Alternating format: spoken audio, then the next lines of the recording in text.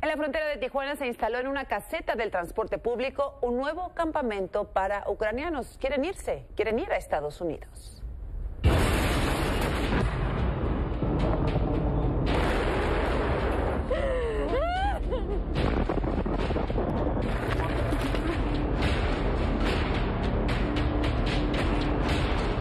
Desde la tarde del lunes, esta estación del Sistema Integral del Transporte en Tijuana se convirtió en el refugio más seguro para ucranianos que huyen de la guerra en su país.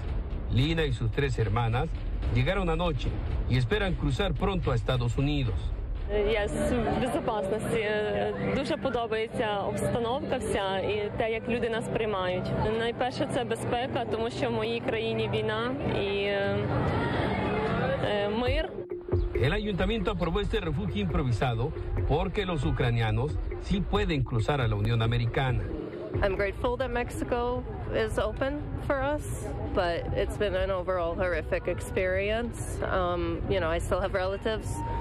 Cada hora, agentes de aduanas y protección fronteriza de Estados Unidos permiten que por la garita de San Isidro entren grupos de 20 a 40 personas. Son tan pocos que unos 300 ucranianos ya están varados cerca de este puerto fronterizo y se esperan 600 en las próximas horas. Los migrantes mantienen limpio el lugar y llevan una lista para que cada uno se anote y cruce conforme van llegando a este nuevo campamento. I'm here to help Ukrainian refugees to go across the border. And my job here to make sure that they have food and they have a line of, uh, of orderly line in order to cross the border. Pero pese a todo, vivir a la intemperie ya afecta a los más pequeños. Desde Baja California para su cena a las 10, Said Betanzos. De algo de temperatura. ¿Crees que podamos? ¿Crees que se puede hacer algo ahí?